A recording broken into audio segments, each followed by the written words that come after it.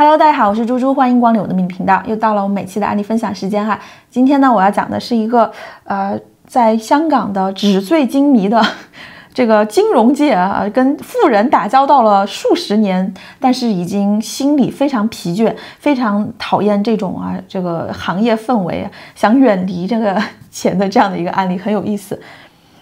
好，那呃，待会儿来讲哈。今先开始之前，首先呢，follow 一下上一期我们讲过丑未戌的行克之后啊，啊，我收到了不少的反馈，大家都有按照我视频里面讲这个知识点，把盘里面丑未戌这三个字都拉出来，看看到底是哪个字它最势单力薄啊？这几个字分别未是木库，戌的话是火土库，还有丑的话是金库，看看这里面这几个五行能量哪个最受损，最被行克严重？这样的话，你这个相对应到的人生的。事情方面，你确实就需要面对这个。注意哈，丑未戌和寅巳申刑合都是一辈子的地支的刑，它都是一种心妖作怪、心理折磨。所以你要看看你对应到的人生方向，哪个是你人生最大的功课，要准备好一辈子跟他啊这个。做斗争的准备，还不是说诅咒你都很倒霉，而是你既然这是一辈子的事情，你就必须要趁趁早的去面对它，去规划它，然后并且用一样的方法去疏解它，去解决它。其实没有那么严重啊！我们第十二个地支都会参与刑克的，丑未戌和寅巳申的是三刑，那子卯也有刑啊，辰啊、亥啊、午啊，这些都是会参与到自刑的，所以都大家都有一点那种自己心妖作怪的感觉哈。这个我们一起加油去面对自己嘛，自己跟自己较劲儿的感觉。好。那我们来讲讲今天这个案例哈，它是看看八字哈，乙丑年啊，丙戌月、丙戌日，然后戊戌时辰的。OK，啊这个盘呢，你看过去就是完全没有财星哎，发现了吗？戌月的丙火，这是深秋季节的一个太阳。这个时候的盘里的土又那么重啊，就是我们之前也讲过啊，叫大山遮日的这种感觉。丙火盘哈，你们我是不是以前都说过啊？非常希望你们就是现在是光照万物，照在江河湖海上，照在森林里面都没有问题。尤其是照在江河湖海上，有一种日照江河的澎湃感，是非常壮美的景象。而相对不喜欢的就是土太多，它这个盘严格来讲就是土太多了。你数出来有四个，而且。那个时辰是戊戌时辰，那就是一柱强土在十柱，就是 天干地支的出现，那真的就像一个大山了。所以他的八字就是火啊，然后在深秋季节本来就不是很强了，还有一堆山挡着，所幸呢，他天干还是有乙木跟丙火这两个东西支撑他啊，所以其实。我觉得火源还存在啊，还有就是火势的话，现在不是很强，但是也不是极弱极弱，是一个身偏弱的这样一个盘。身偏弱的话，它的盘很明显啊，需要把火能量加起来。那我们就是要多加木，木既可以克土。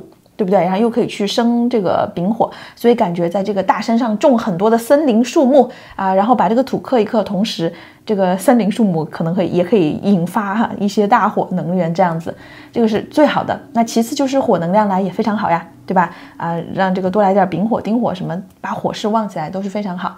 所以是喜木火的。那么喜用神拉出来之后，他其实这个人非常的文艺。我讲哈，他给我写了一封非常长的人生故事，我都不觉得像是人生故事，我觉得像是嗯网络小说。他的文笔很好，呃，就是嗯他的从小，然后到他到了这个香港，他其实呃，我觉得我认知里面，我一个金融外行人，我认识里面的金金融的几大巨头好像都去过了诶，什么摩根斯坦利，还有就他说的世界。宇宙银行，还有哎，RBC 哦，RBC 不是我们加拿大的银行吗？是不是也也会有什么香港的分部是吗？什么摩根斯坦利，什么这那什么之类的啊，他都去混迹过。那他也说了，他抓出来的关键流年就是二零一三一四，他特别是二零一四年那一年，他是一个甲午年啊，盘里的木火能量特别特别的重。然后呢，他这一个什么没有什么背景，也没出过国，什么这那的。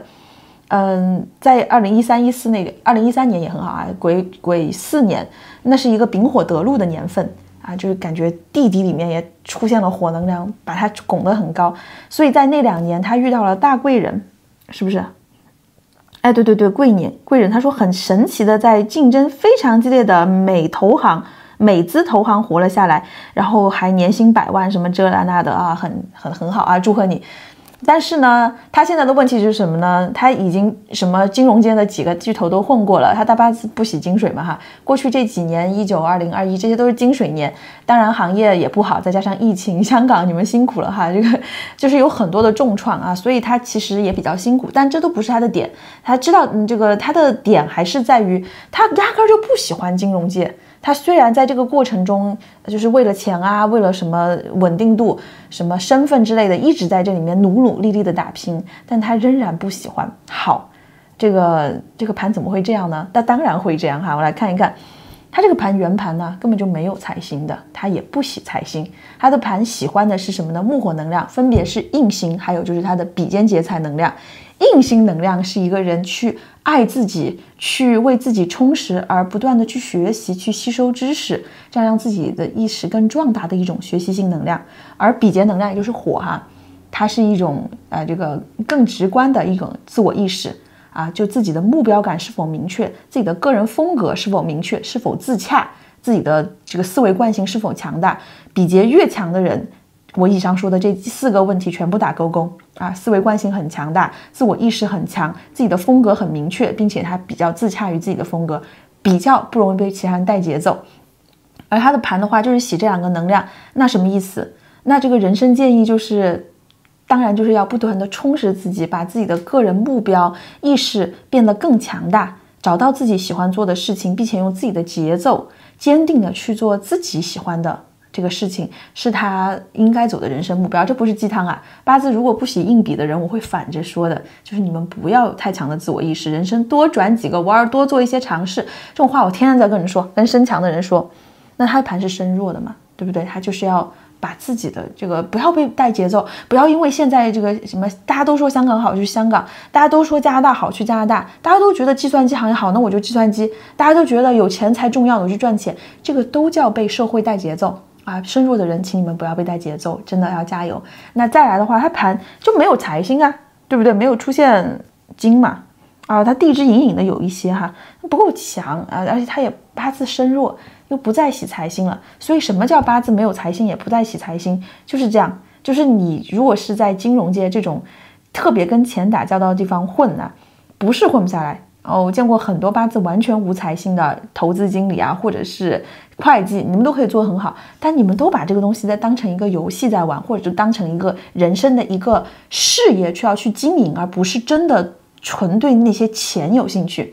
八字有财星的人会相对对钱会更敏感啊，他可就是会围绕他他的行为围绕着钱走的这个可能性会更大，而八字没有财星的人，他这个。追着就是被钱影响你自己的人生信念目标的可能性就很低。你这个盘其实财星能量并没有，所以你换句话说，你不是一个很物质现实的人。那这个时候我就看你喜不喜财星了。如果你喜财星，你就应该成为一个更物质现实的人；而你完全也不喜财星的情况下，就咱们也不必了。啊，所以其实换句话说，金融这个行业哈，在这个过程中，如果是你自己做的过程中，你觉得爽啊，你觉得好像完成了一些人生的啊这个意义的所在的话，那是可以的，实现自我价值非常非常的好。但如果只是为着因为钱年薪高，这个行业其实也留不住你。而相对的，你盘其实是时尚能量非常强的盘，时尚能量是什么？那就是一种。啊，很潇洒，要去实现自我价值，不想要受约束的这样的一种追求自我实现的自由之心啊！我可能说的比较快，但是我已经出过那么多期视频了，我觉得你们多多少少了解哈。新的观众可以多听几遍，或者去看看我之前讲的什么叫硬心，什么叫比劫，什么叫时尚。啊，你的盘，她这个这个妹子的盘，硬性能量比较强，比劫能量比较强，啊，时尚能量尤其强，这三个能量都不是很现实世俗的人，你当然融入不进香港的纸醉金迷的世界。实际上，我觉得不要给香港另标签呐。我的很多香港客户非常文艺的，你盘里如果是文艺的心，你也可以在香港，香港的那个文化界是非常好的呀，它氛围什么之类的都很好。呃，但是只是可惜你在金融界，你知道吗？你在一个太跟钱打交道的行业，又在香港这样的一个确实是金融中心的地方，我觉得就是不适合，再加上不适合你，当然痛苦啊！所以我要给你一个非常大胆的建议，听好了哈，因为你的印星大运要来了啊，二零二三年今年啊已经来了，你正式会走进二十年的木大运啊，庚寅大运、辛卯大运，哇哦，这两个大运印星一来，什么意思？就是到了你更加想要去充实自己、去吸收，让自己的灵魂被滋养到的二十年，而且是你的用神。所以这二十年，我觉得你应该大胆的啊，你可以裸辞了。其实你可以把你的工作哈，呃，彻底的放在一边，好好就去想想，你真的想要学一些什么东西，你真的对什么东西有兴趣啊？看看行业基因，嗯。甲天干是吧？廉贞跟太阳廉破五阳，廉贞星是嗯，这个我们对应到了互联网啊，然后选品筛查这都没有问题，看你有没有兴趣。但是太阳星很有意思啊，我觉得太阳星，我再更想说一说，我之前出过一期，你去看一看，太阳星会有这个社会意义啊，这个传播人人为我我为人人的这种大爱精神特别重要。你的盘原本就是天梁星座命的啊，杨梁昌禄的这样一个格局盘，当然要走这个比较好，所以这个就是来了。你做的事情真的必须要有社会意义才行。你要去想想你喜欢做什么啊，尤其是一些偏啊慈善、偏这个嗯社会学研究、偏包括包括心理学研究非常好。你盘的八字土能量特别特别的重啊，土作为时尚的话，当然会啊对这个心理学、哲学研究会非常有兴趣。所以我不知道你有没有这方面的学位，你并没有告诉我。但是我觉得你可以去这方面继续深造。这几年刚好也是木的年份哈，二三、二四、二五，啊，无论是正规的去学个硕士、博士，或者是啊学一些系统性的课程、网课什么都好，我觉得你应该停下你的脚步啊，至少花一部分的时间去充充实投资自己。这样的话，你的人生转弯才会有一些基底啊。你其实现在到现在为止，应该已经积累了一些，不至于就是活不下去了。我觉得你其实真的是可以脱离金融界的，不必在这里面混，你根本跟。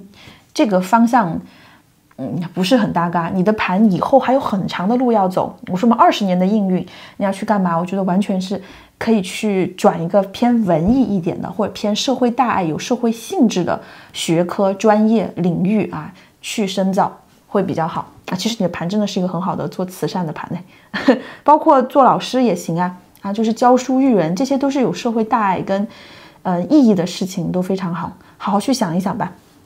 嗯，难得我会看到一个盘里啊，完全没有财星也不喜财星的，我其实我就特别开心啊，我就是非常想鼓励你啊，因为这个世界上当然赚钱非常光荣，但是总有一些人盘里是不喜财星的，就比如说你我这种人啊，那钱够就行了，我们一定要去找一点别的事情去发挥我们自己真正的自我价值，加油加油！